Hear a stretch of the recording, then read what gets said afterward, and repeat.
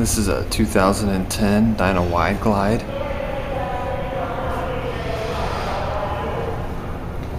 And the color is Red Hot Sunglow.